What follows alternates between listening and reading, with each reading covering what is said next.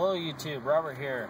Welcome to another episode of Drive Home Fishing Talk video. I believe this is uh, part 23 and my topic today is uh, WD-40 and using WD-40 to attract fish. Now, I I believe that stuff doesn't work. Uh, that is just, I mean, I use WD-40 all the time at my work and that just doesn't sound like I, I, I, don't know. You would have to make me a believer. I would have to actually go fishing with you actually see you using wd-40 and you catching fish in order for me to believe it. But uh, not too long ago a guy i follow on youtube and you may as well you may follow him as well. His name is uh, he goes by muddy river catfishing. And uh, on his video uh, it shows him setting a bunch of set lines for catfishing and what he's using is he's using sponge and he, he's spraying the WD-40 on the sponge and just setting set lines. And he would go back out and check on his set lines to see if uh, he had any fish.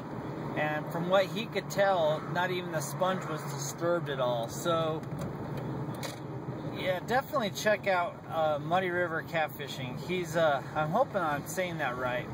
Uh, if not, in the description below will be the correct name. But yeah, definitely go on to his uh, channel and check out that video. It's called WD-40, Fishing with WD-40 is what I think is what it's called. Um, just, yeah, let me know what you think about it. Uh, and, and also, I mean, if you have used WD-40, uh, post a post a comment. Let me know how it worked for you.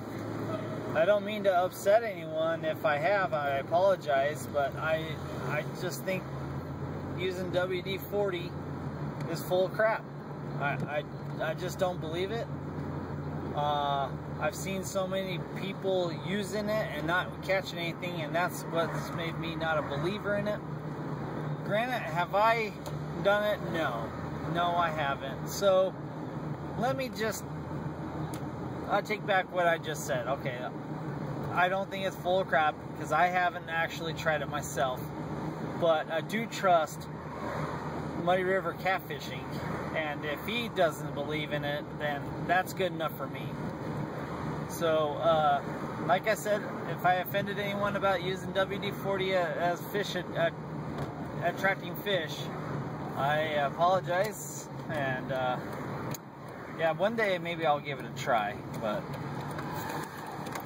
and then uh, back on the WD-40, uh, a friend of mine that I go fishing with, he doesn't want to, he doesn't know for sure if it works, but he doesn't want to believe that it doesn't work.